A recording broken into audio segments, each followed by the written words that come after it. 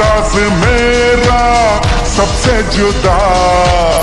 मैं बादशाह का बादशाह।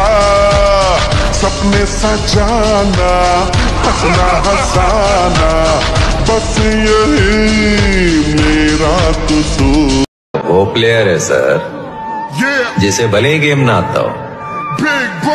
मैदान में उतरा ना हाँ। तो खलबली मचा देगा